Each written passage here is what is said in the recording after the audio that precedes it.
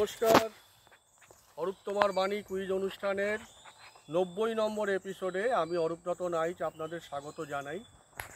আমরা আছি মেপেলউডের একটা পার্ক কাম কিছুটা ফরেস্ট জাতীয় এলাকায়। আপনারা দেখতেই পাচ্ছেন, ক্যামেরাম্যান অলরেডি আপনাদের দেখিয়ে দিয়েছে। এই ধরনের একটা সুন্দর জায়গায় চারপাশটা প্রচুর গাছপালা, জঙ্গল এবং ওপাশে একটা পার্ক টাইপেরও আছে স্কুইরেল। হ্যাঁ স্কুইরেল সমস্ত বেশ একদম অরণ্য অরণ্য পরিবেশ। এই ধরনের পরিবেশ আমি খুব পছন্দ করি বলে এই জায়গাটা বেঁচেছি। তো আমাদের আজকের এপিসোডটাও সেই রকম মিক্সড ব্যাগ স্পেশাল তবে জিওগ্রাফির উপর একটু প্রশ্ন বেশি থাকছে। জিওগ্রাফিক্যাল কোশ্চেন দেখেছি যে কুইজে একটুখানি কম থাকে। তো সেই জন্য দু একটা যারা কম্পিটিটিভ পরীক্ষা দেন তাদের জন্য জিওগ্রাফিক্যাল টাইপের কিছু প্রশ্ন রাখা হয়েছে।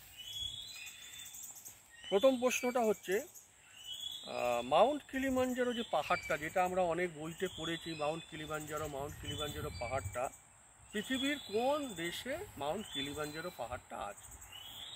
তার উত্তরটা হচ্ছে তানজানিয়া তানজানিয়া। দু নম্বর, কোন রাজধানী শহরে তুমি দ্য লিটল মারমেডের স্ট্যাচুটা দেখতে পাবে? লিটল মারমেড আপনারা জানেন মৎস্যকন্যা, এই যে স্ট্যাচুটা কোথায় দেখতে পাবেন? কোন শহরে দেখতে পাবেন? কোন রাজধানী শহরে দেখতে পাবেন লিটল মারমেডের স্ট্যাচুটা? এটা হচ্ছে ডেনমার্কের কোপেন হেগেন তিন নম্বর, পৃথিবীর কোন দেশের পতাকায় পাঁচটা তারা আছে? ফাইভ স্টার পাঁচটা তারা আছে। এটা হচ্ছে চায়না। চীন, চায়না বা চীন, চায়না। চার নম্বর একটা ফোবিয়া যেমন আমাদের সবারই অনেক রকম ভয় আছে।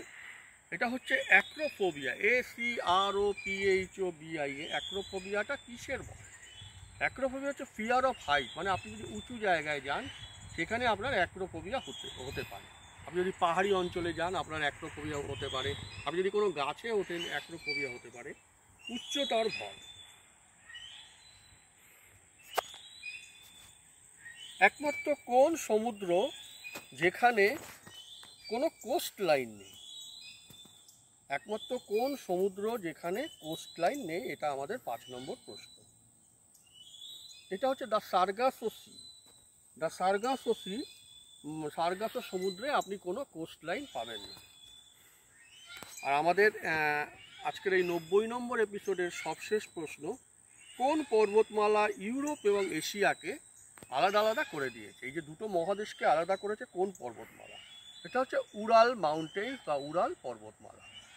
ছটা প্রশ্ন হয়েছে আমাদের নব্বইতম এপিসোড এখানেই শেষ। সবাই ভালো থাকবেন ভালো রাখবেন।